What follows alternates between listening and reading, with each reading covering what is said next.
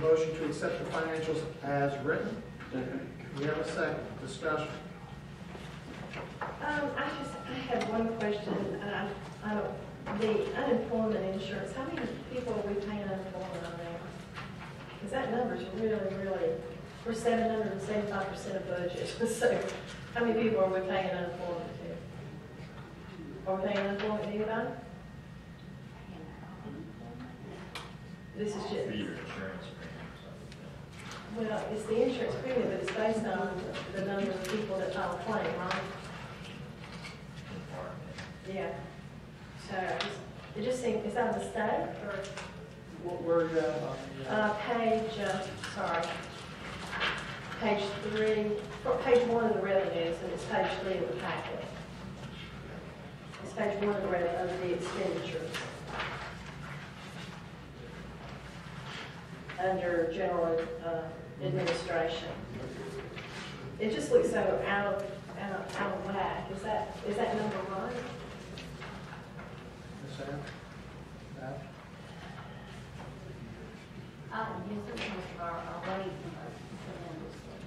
So my question is, is how many people do we pay unemployment on, so to make that rate go up? Okay. If you don't know, you Here's can not, well, I, I'll have them up real quick. You got, you got one, two, three, four, in the twelve office, two maintenance, and, uh, and Smith and capital, that's two. I, I know that our premium is partially based on how many claims we are filed and we paid out, so that was my question, how many claims have we paid this year? How many people are collecting unemployment or? Um, We would have to pull, we would have. It's okay, you can just tell me later, it just, the number looks so strange. Is it, is it that many? Well, that's, that- that's a part, part of the reason our rate went up. But how long does that, does that go for?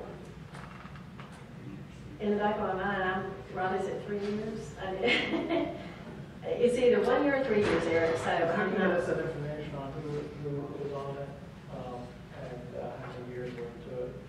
Great. yeah, it's just that the number's so out of whack. And uh, if that's going to continue, we certainly need to make a note of that for budget time. Okay. We have a, a, uh motion to accept the minutes, a second. Uh, do we have any dis- more discussion? All in favor? Okay. Minutes are accepted unanimously. Citizens' concerns. Better take it easy. Approach. Name and address, please. Name and address, please. Which address? The address that you reside at. I am Christy Brownell, and I live at 5231 Weisenbaker Road, Valdosta, Georgia. But I'm the president of the Lake Park Chamber, and I just wanted to thank the city and the council for all y'all's help with the rodeo and the parade. Um, Especially with the parade, I want to thank Chief and all your guys. It, it I hope y'all are as pleased with it as we are.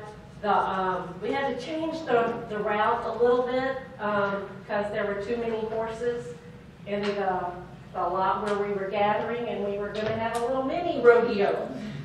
So we decided to kind of, you know, let's let them think about something else, and we walked down the street. Um, but Chief just stepped to the plate and made sure we were all safe and it went extremely well. The rodeo was soggy Friday, but Saturday it rocked. There were uh, over 3,000 people. Um, Standing room was full. There was no more standing room only. Um, We had no problems. It ran like clockwork. It was a great night, and I just want to thank y'all for your support and your help. Well, it was a pleasure having uh, the rodeo parade come through Lake Park. It was uh, uh, a very uh, nice thing to have come through it.